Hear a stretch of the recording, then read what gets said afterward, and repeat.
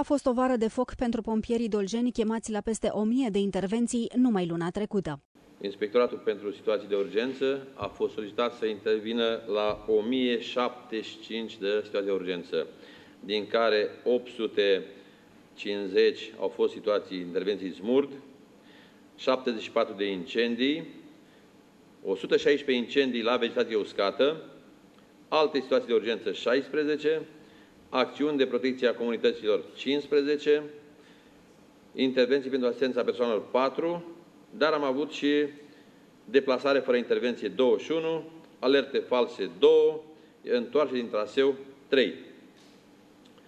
De fiecare dată se mai întâmplă când uh, nu s-a terminat cu aceste anunțuri false și uh, jocul unor persoane sau copii și fii adulți, de, sună la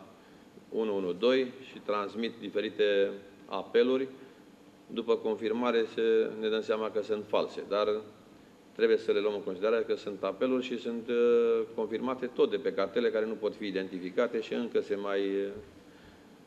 păstrează acest obicei care ne pune și ne face probleme. Revenind la incendiile de miriști, de la începutul anului până în prezent, la nivelul județului Dolj, au fost înregistrate un număr de 466 de incendii de vegetație uscată, fiind afectate 3424 de hectare de terenuri cu vegetație uscată, 148 de hectare de culturi de cereale păioase, grâu, ovăț și orz, 4 hectare cultură mazăre furajeră, 70 de hectare litieră de pădure și 20 de hectare fond forestier, precum și o cantitate de 84 de tone de gunoi menajer.